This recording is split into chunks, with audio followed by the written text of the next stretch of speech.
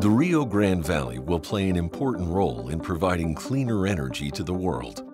NextDecade's Rio Grande LNG is a liquefied natural gas export terminal near Brownsville, Texas.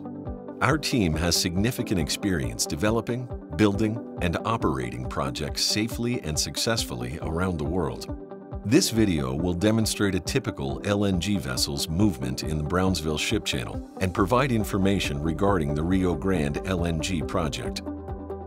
An LNG vessel is roughly the same length as a typical tanker vessel. The vessel arrives empty and will approach the terminal from the Gulf of Mexico, entering at the Brazos Santiago Pass.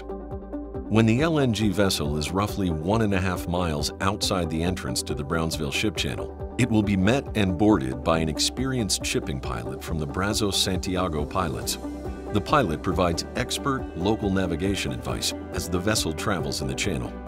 Two tugs will also meet the LNG vessel to assist in escorting the vessel safely to the Rio Grande LNG terminal. The Brazos Santiago pilots and tug captains participate in virtual LNG vessel simulations to get experience in safely piloting LNG vessels to NextDecade's Rio Grande LNG terminal. NextDecade will continue to use this simulator to train future pilots and tug captains. The forward and aft tugs attach by rope to the LNG vessel prior to reaching the outer jetties at the entrance of the channel. LNG vessels require two tugs to escort them through the ship channel. These tugs, which assist LNG vessels with safely maneuvering the channel, are contracted exclusively to NextDecade and are designed to operate with LNG vessels in the Brownsville Ship Channel. The current speed limit for any vessel in the Brownsville Ship Channel is 8 knots. LNG vessels will travel at a speed of between 6 and 7 knots, or about 8 miles per hour. When it comes to MV-class vessels in the Brownsville Ship Channel, there will be no changes to the existing practice. No two-way traffic is allowed for MV-class vessels in the channel. When an LNG vessel is in the channel, deep draft traffic, vessels requiring the depth of the dredged channel, will be restricted to whichever direction that vessel is traveling.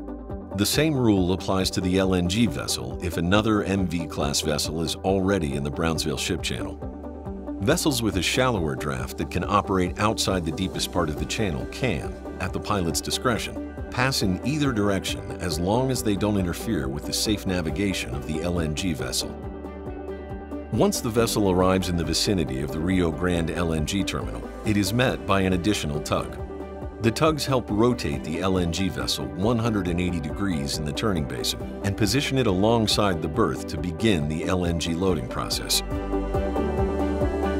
The Rio Grande LNG project will bring tremendous benefits to the communities across the Rio Grande Valley. During construction, the project is expected to create up to 6,000 jobs. The facility will employ about 300 permanent employees during operation. In addition, an estimated 3,000 indirect jobs are expected to be created as area restaurants, hotels, tourist attractions, and other local services benefit from the influx of employees and their families.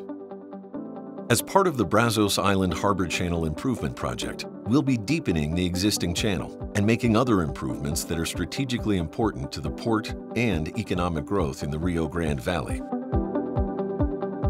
Once the LNG vessel has been loaded, the pilot and two escort tugs will assist it back out of the Brownsville Ship Channel. As the LNG vessel safely exits the Brazos Santiago Pass, the pilot disembarks and the escort tugs return back to the Rio Grande LNG terminal.